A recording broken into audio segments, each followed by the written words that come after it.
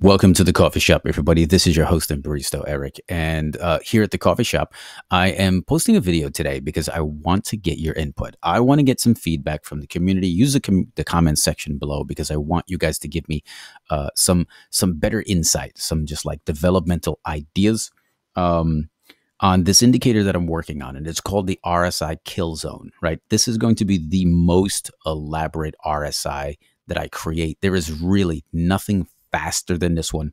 I've done a lot of checking uh, on TradingView for um, indicators like the RSI and momentum indicators that will do all of the things that this one will do. This one is truly going to be one of a kind. As good as my Heikin Ashi algo indicator is, that is great for you people who like using, um, you know, Heikin Ashi candles in the RSI. Great for you. Uh, but this one, I'm sorry, this one is going to top them all. And I want um, yeah, like I said, I want to try and get some feedback from you guys and uh, just see. Let's get comfortable here, right? So I have my desk up high. I'm gonna drop myself down low. Just kind of let's just sit back a little bit and get comfy right here at the coffee shop. Hang on. You know what we got to do? We got to pull up our, you know, no advertising. There we go. And uh, we're just gonna pull this up here, right? We got a little cup of whatever we're using for the day. And I want you to just take a look at this um, this RSI that I'm working on. It's called the kill zone. Okay. Now, what it does is it draws this channel here. Okay. It draws this channel here. And you can see the channel starts. Let me just use my arrow because I like using that, right? And this is this is not only a momentum indicator, it also allows you to understand the limitations of the range of the RSI. Okay. It is not uh, 70 30 it is not 80 20 it is not 100 100 uh, okay? None of that okay?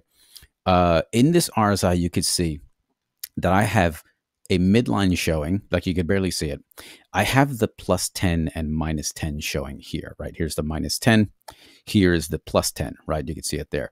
But you can see that they are not exactly relevant and i've always known and just haven't been able to until now been able to figure out a way to find the actual range of the market right? When usually when the rsi gets down to minus 10 or up to 10 like you see it here it it kind of collapses in its movement okay? But what i've been trying to do is figure out when is this not relevant okay? And to be honest with you it's never relevant. The 10 the 20 the 30 the 40 the 50 all of those levels they are not relevant uh, when it comes to the movement of the RSI. The only thing that's relevant is what is the RSI doing with its moving average above or below zero. In my case, zero because I have mine plotted to show zero for the center line. Right. Um, so with that, I've been able to create an RSI that draws an automatic channel.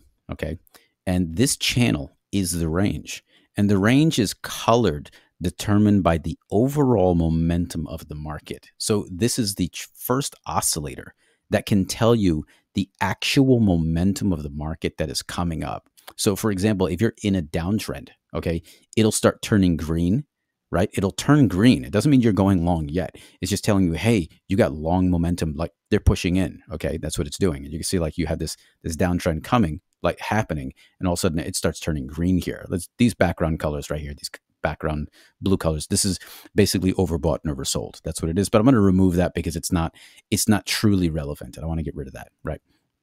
Um, so so what I want to focus on here is this channel here. Let's kind of do this right here. So you got one here and you got the other one here, right? You could see the top and the bottom of the channel. But if you look backwards, right, you could see that this level is not the same level that the channel was the whole time. So the, the number 10 or whatever this number is, is not relevant. So if I just drag this straight across, you can see the channel is no longer here. Now it's down here, right? Then it moves and it's up here and it's over and it just keeps shifting. The channel itself keeps shifting, right? As this channel is low, the RSI is going to make longs.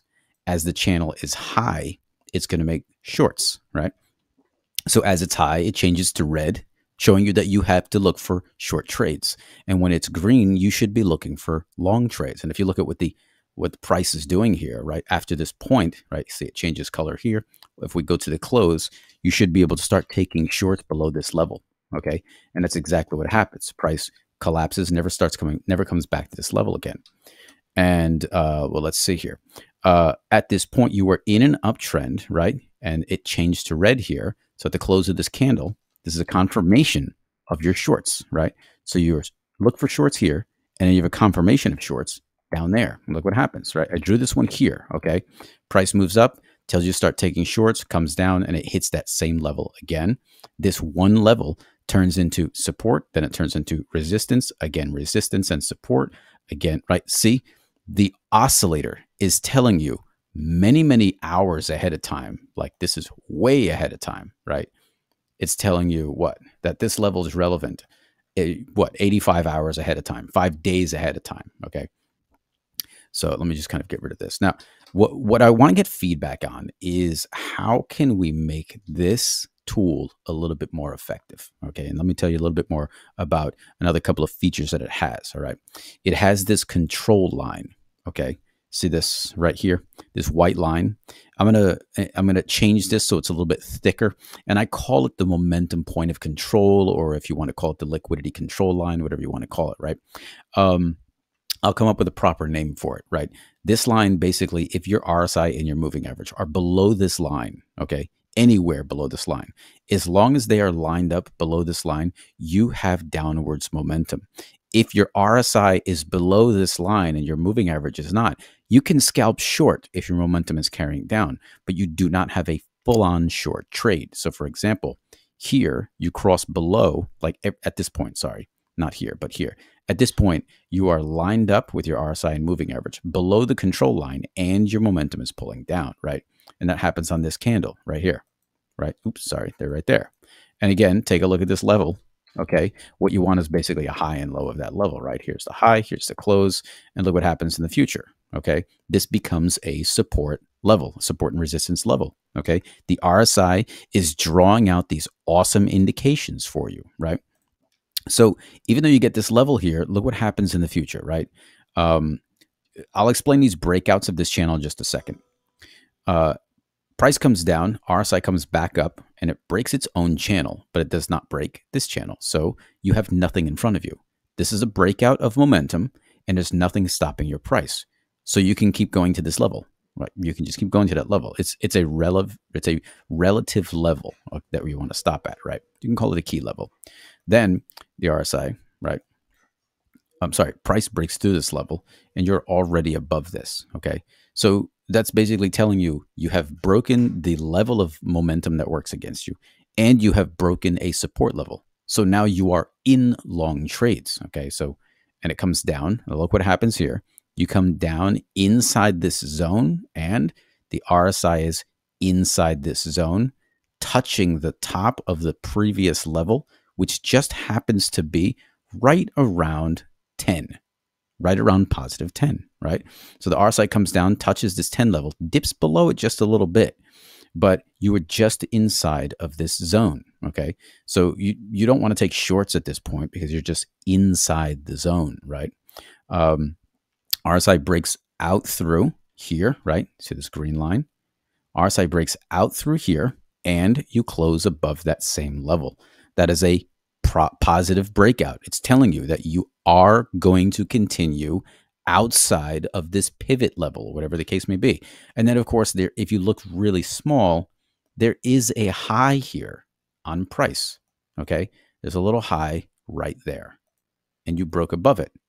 Okay, so if you're able to calculate the highs and lows as price is moving along, you can see that you just closed above a high and the RSI broke outside of this support and resistance channel. And it's all happening in live time. Like this doesn't take, uh, you know, several days for this channel to appear. The channel is already there. It's right here. Okay, it follows the RSI. It's at the same point of the RSI.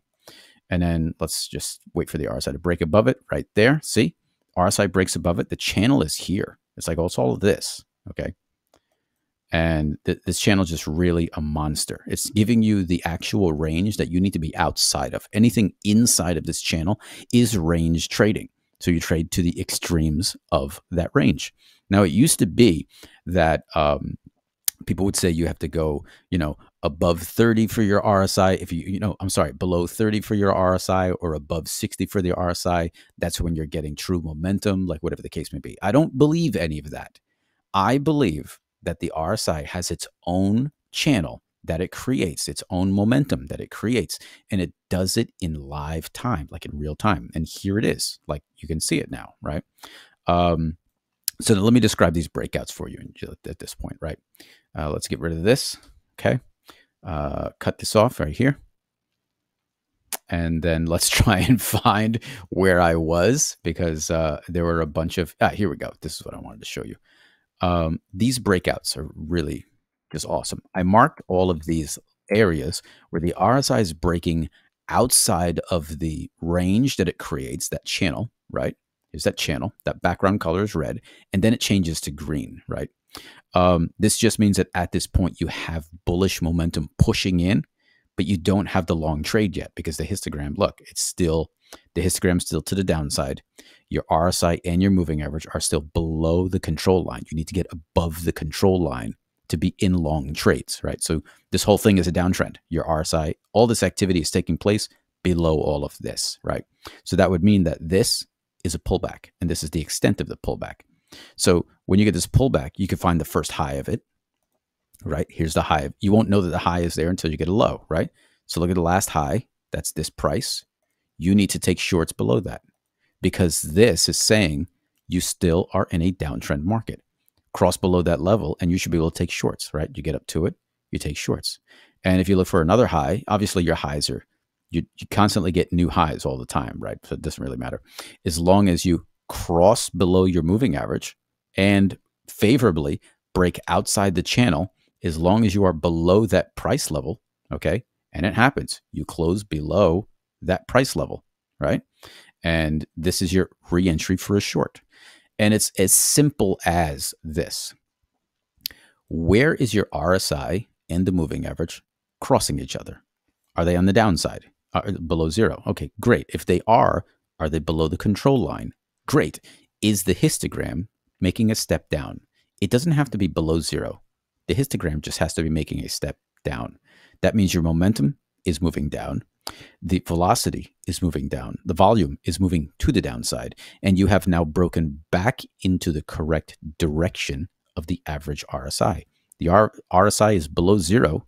So you want to you want to be crossing down the average, right? You want to you don't want to be higher than the average. You want to be lower than the average, and that's your reentry. So, and uh, let's see. So here we go. So this is every single time that you can re-enter the market, right?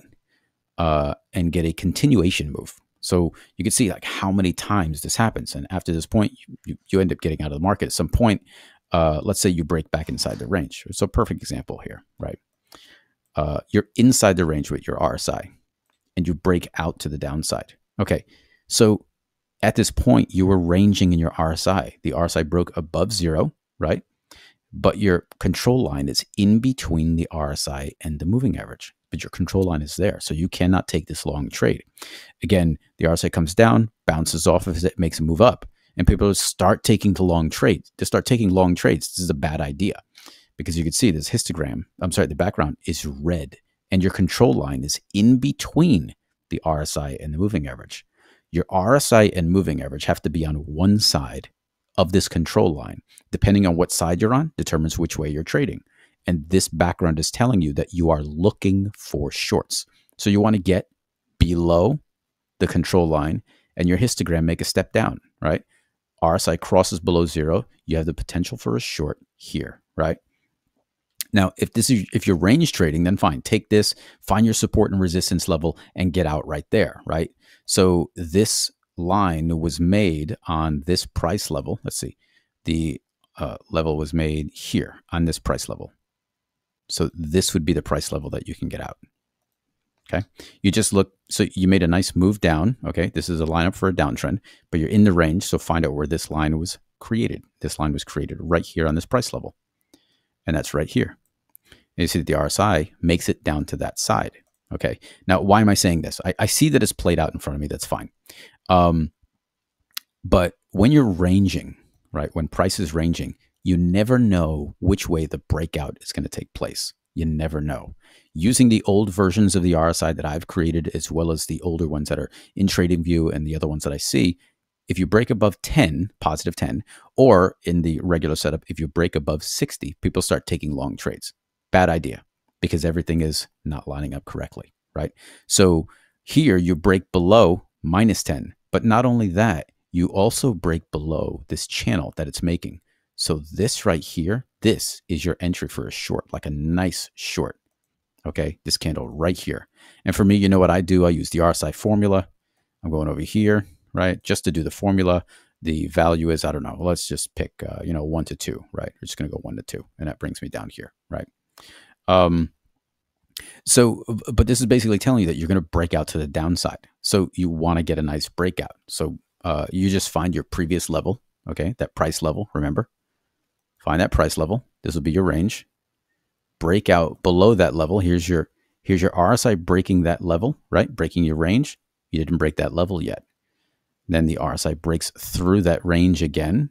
The histogram makes a step down. You're below your control line with everything, and you cross that price level.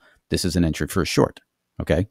And then as price is playing out, this move takes place again. Okay.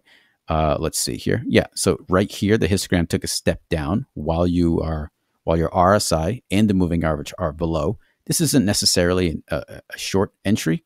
I want to get to where the RSI crosses below its average, and it's right here, right? RSI crosses down below its average at this point. I want to step down in the histogram right there. This is the entry for a short, right? So you can see like it's kind of ranging a little bit, re-entry for a short, right? And then it does this pullback on this candle, re-entry for a short. Does another pullback, you cross below again, like you're you're below this channel, okay? And um, so yeah, so so this is where I am with this, and like every single one of these red lines, these red vertical lines, this is the re-entry for a short. And from what I can see here, there are no entries for long positions in this at all. And this is the key factor of this thing. Here, the RSI crosses